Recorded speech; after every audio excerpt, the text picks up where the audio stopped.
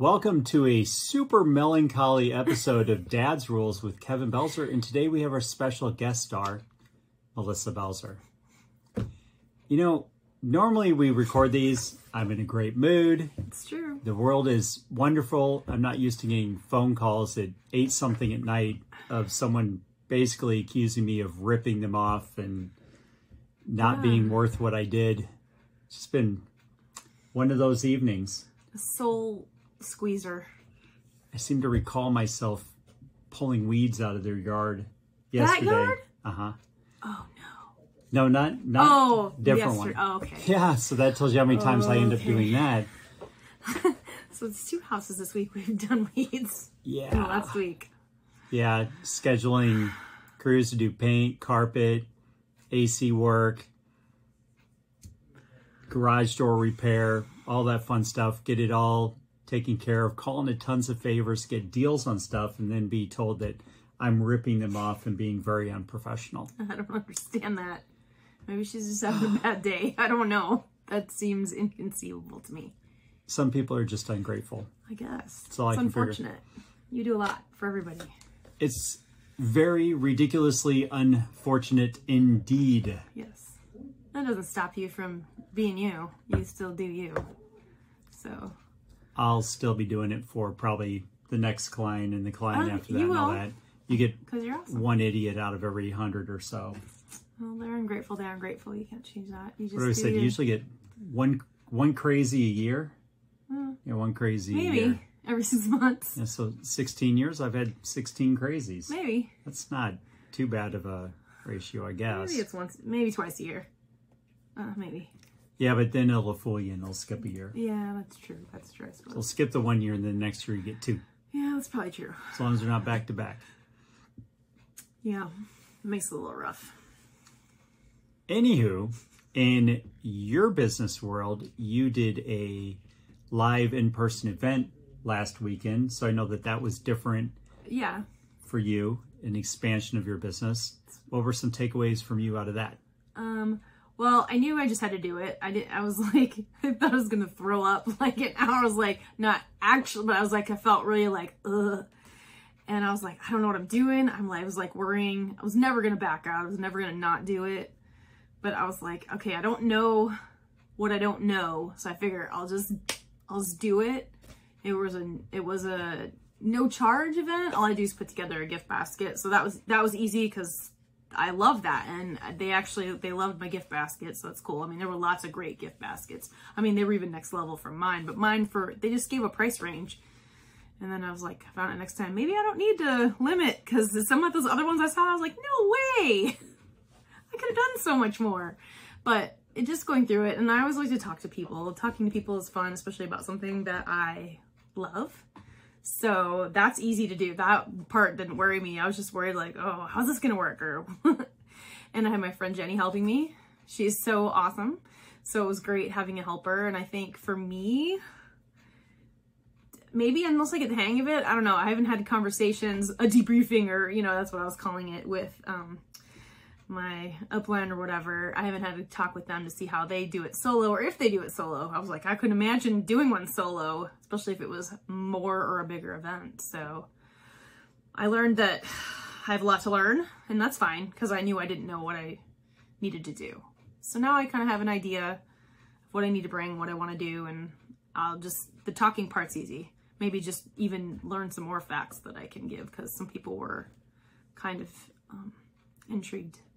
What was a story you told yourself going into the event that was completely different from when you got there?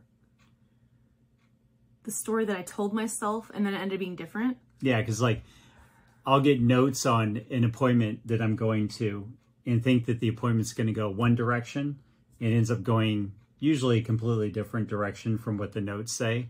Was there something you were going into it that you thought it would play out one way and it played out a different way? Um, I thought, I think I thought it would be a lot more people going through there. I mean, she she gave me a number, and somehow I was like, well, "That's a good amount of people." And you know, and then I, and then what? Yeah, what I didn't know was that oh, like other people were going to come in too. So I don't know if it was family members as well or friends. I don't really know what the scope, but it was cool because there were kids there. There were some kids there too. So I had a couple of um like teen girls come up to the booth too. So I was like, oh, that was somehow was unexpected. And then it turns out, yes, I actually have a future opportunity, which I did not know. So I did not know this is a twice a year event. So I told her I would love to be invited back for the fall.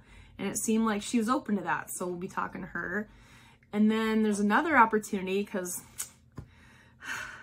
I like that the the retirement community folks, ladies, dudes too. Uh, they're just they're just really fun to be around sometimes, and they just have the greatest stories.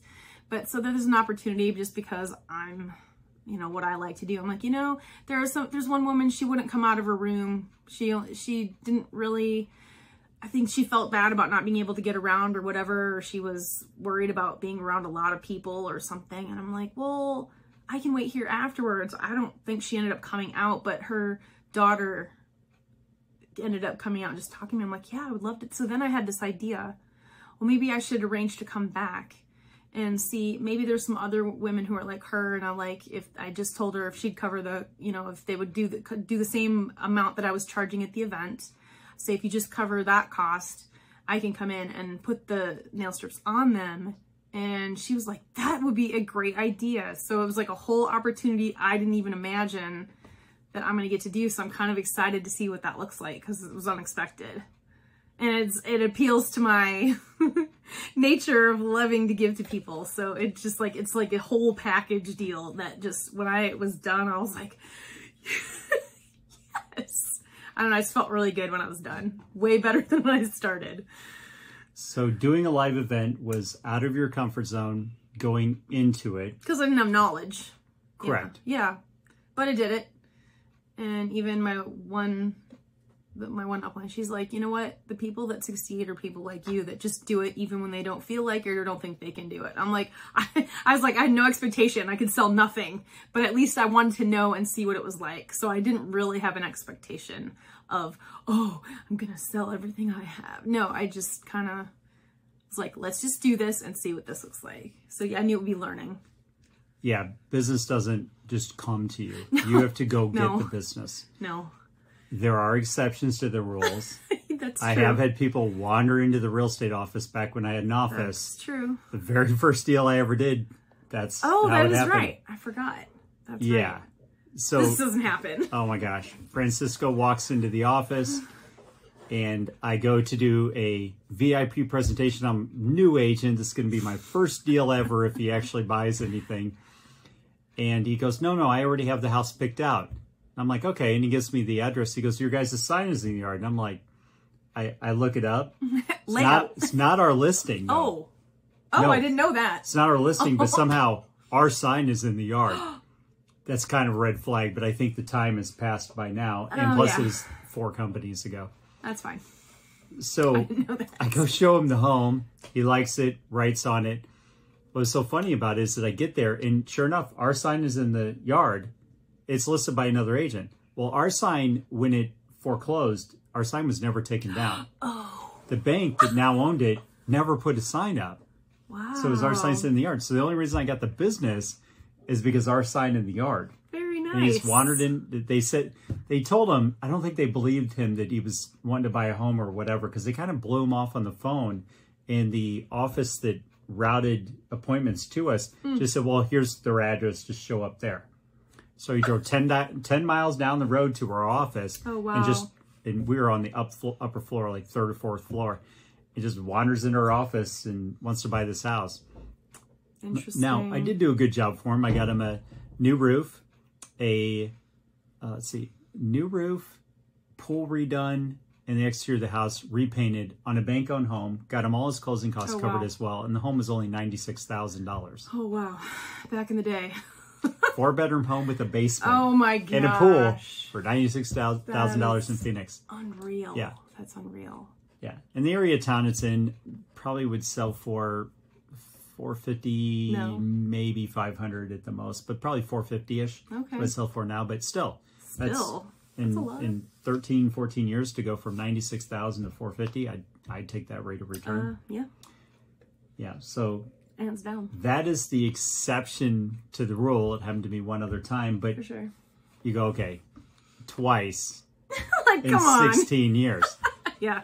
if you want to be successful in sales, you are going to have to get off your butt and go work for it. You're going to have to pick up the phone, It's learn, dial, learn and do.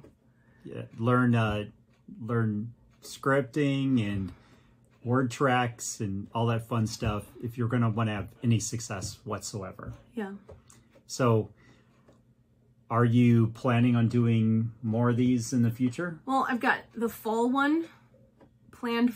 I mean, that's my plan. So I just have to get with the event coordinator. She seemed willing to have me do it. So, You almost said the scam one too. I, oh gosh, that was a close call. That was something else. It was a close call, but I think I said to you, nobody needs payment at No. 9 p.m. at night. And that's what That I said. urgently. I was like, he's just totally bugging. I'm like, this isn't real. Nobody, like, literally, no one will do that.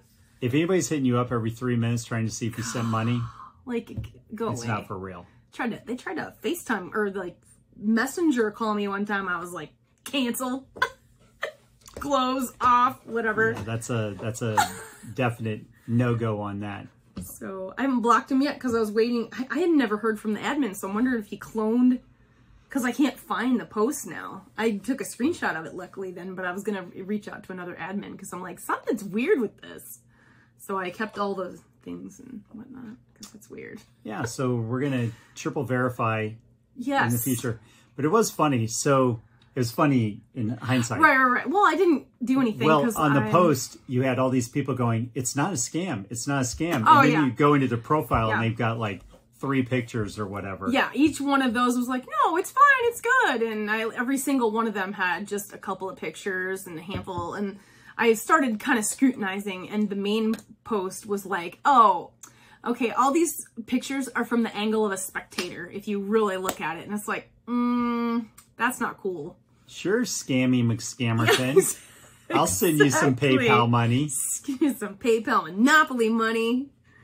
So yeah, I was like, whew, I'm glad. I'm well. I think the only reason I had the red flag was because he started hounding me. That's what made me scrutinize. So he messed up. Maybe he's an amateur. Because I was like, wait a second, this is some something's wrong. Something's up. So I almost sent the money because I was like, cool, you know, it seemed legit. Yeah, be careful. Be careful out there. Now, to me, the money sounded too cheap for what it was. Well, and I, did, I didn't know because I haven't done any events. So now that I know that, I'm gonna be I'm gonna be asking people. Does this seem reasonable? Does this seem I read. I Whatever. talked to somebody that does a lot of events the next day, and they're like, "I would have bought four tables for that amount." well? And well, and because I already had this first one done, they didn't charge a fee. Probably because it was a retirement committee, but all I had to do was make the gift basket as the fee. She was like, "You just make a gift basket for the raffle, and it mm-hmm. raises money for their activities." I was like, "That seemed reasonable," and she was communicating with me not in a menacing way. So I was like, "Okay." yeah, but outside of that, I mean, you can now look at other festivals, events that are going on. You Yeah. can get on those radars. I've been hounded for a while saying that I need to be hosting events for past clients and stuff like that. I'll get right on that when I figure out what moment in my life is free to fill that in. yeah, well, I'm not opposed to doing it. no, that's just gonna take some. Time, Yeah, something I don't really fine. have. Yeah, we'll As it out. micromanaged as I am, It might just be right now. Might just be almost there. We're probably almost there. that brings us full circle to why I'm probably so pissed right now about how this client is treating me because I'm like, I gave you my time, my most valuable asset Yeah. in the world. Net you what I told you net, and you now you're throwing a hissy fit.